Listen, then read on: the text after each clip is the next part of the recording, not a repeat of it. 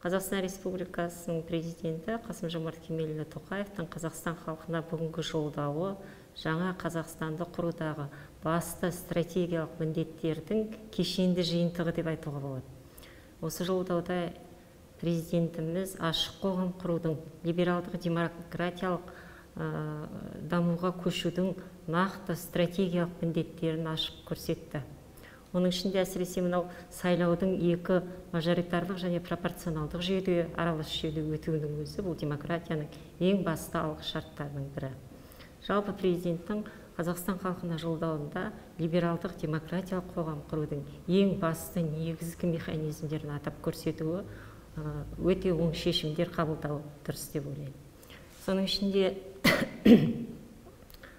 президентіміз бұқаралық ақпарат құралдарының қоғамдағы орны мен рөліне ерекше атап өтті.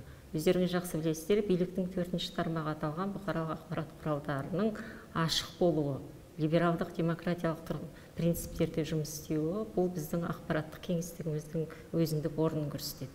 Осы мақсатта президенттің жаңағы ақпарат құралдарындағы объективті болуды халыққа барлық болып жатқан өзгерістерді ашық түрде жеткізуді айтып өтті.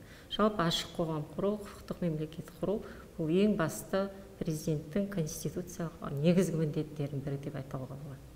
Сондай ақ жалпы жолдаудағы айтылып өткен маған ерекше көңілге қонымды болған бұл соңғы кездегі саяси әлеуметтік мәселелер қаңтар оқиғасына берілген бағасы ашық түрде халыққа жеткізілген мәліметтер жалпы халықтың тұтастығы елдің еркіндігі ең алдымен ұлттық бірлікте яғни күшіміздің бірлікте екендігін атап өтті.